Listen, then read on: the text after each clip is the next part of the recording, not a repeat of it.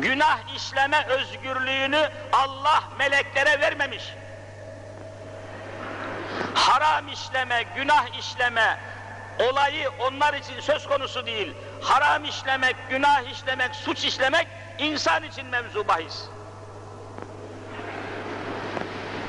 Bunun da sebebi nedir?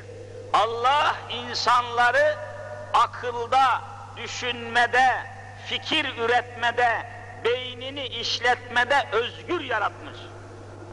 Özgür. Hür, hür dediğimiz, hürriyet dediğimiz bir hadise var.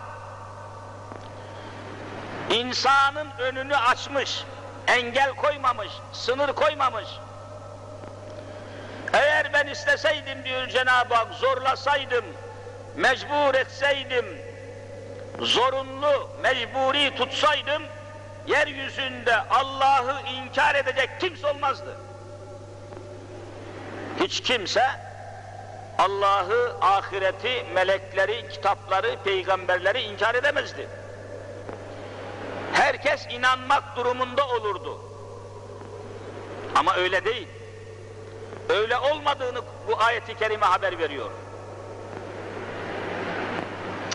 Ve devam ediyor. Efe ente tükrihün nase hatta yekunu müminin. Ey müminler, ey benim Resulüm, efe ente, Arapça biliyorsunuz ente sen demek. Karşısındaki muhataba hitap ederken ente, bir kişi ise ente, iki kişi ise entüma, üç kişi ve daha fazlaysa entüm, siz anlamına. Arapçada bunlar çok var. Efe ente, ey benim Habibim Resulüm Muhammed Mustafa'm, efe ente, sen mi? Sen mi? Tükrihün nase, insanları zorlamaya kalk, insanları ikraha, zorlamaya sen mi teşebbüs ediyorsun? Hatta yekûnû müminin, iman etsinler diye, mümin olsunlar diye, Müslüman olsunlar diye insanları zorlamaya kalkışan sen misin?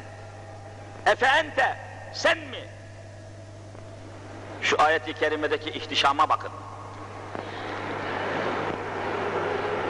Ey Resulüm diyor, ey Muhammed Mustafa'm, o kadar samimi bir hitap ki, efe ente, yani sen sakın ola ki insanlar mümin olsun, Müslüman olsun diye kimseyi zorlamaya, kimseye zor kullanmaya kalkmayasın. Ayet çok açık.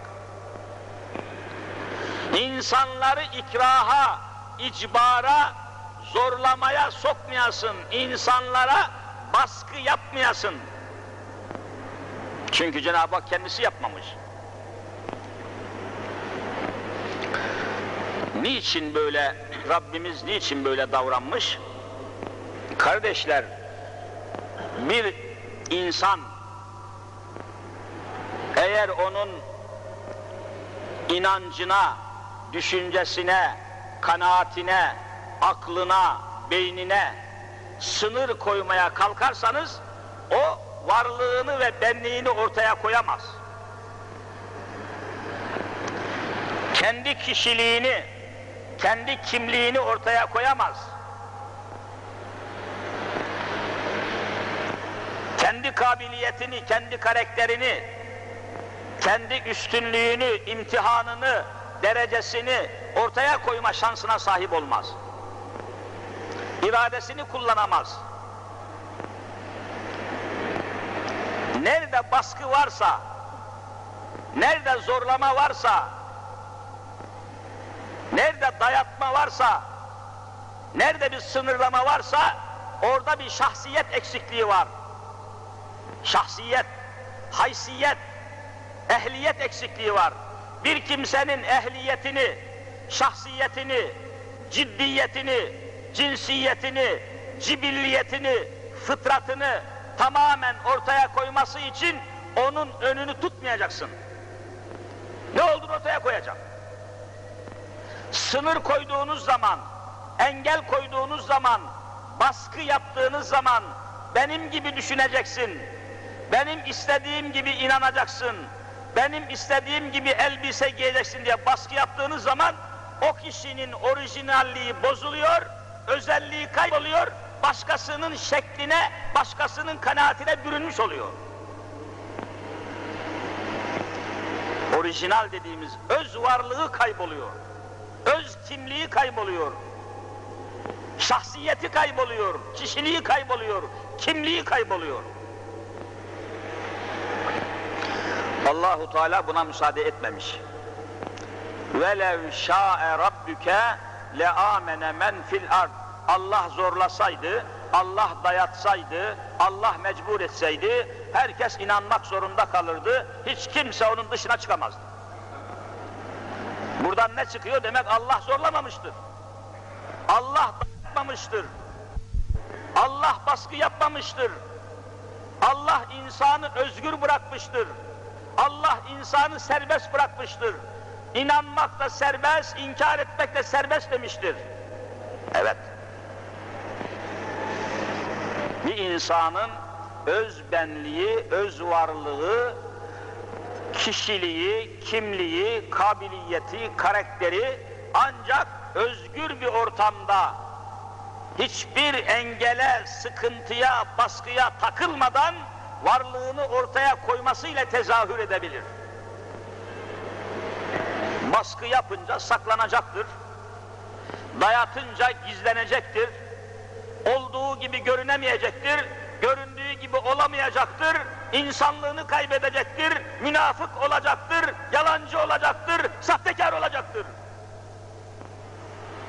Allah insanın böyle olmasını istememiştir. Bakınız ne buyuruyor? فَمَنْ شَاءَ فَلْيُؤْمِنْ وَمَنْ شَاءَ فَلْيَكْفُرْ Rabbimiz buyuruyor ki ben insanları ey insan ey insanlar sizi özgür olarak bıraktım.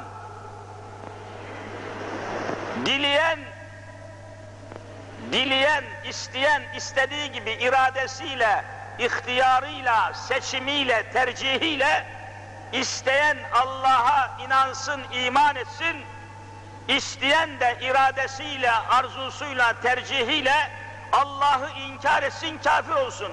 Kafir olmak da serbest, mümin olmak da serbest. Şu Kur'an'ın getirdiği ölçüye bakın. Kendi yarattığı insanın inancına, vicdanına, beynine vallahi Allah sınır koymamış.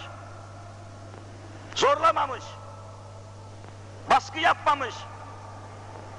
Ta ki o insan samimi olsun, özgür olsun, inanan da inanmayan da belli olsun, saklanmasın insan, gizlenmesin, iki yüzlü olmasın, münafık olmasın, çarpık olmasın, sapık olmasın, özbenliğini ortaya koysun.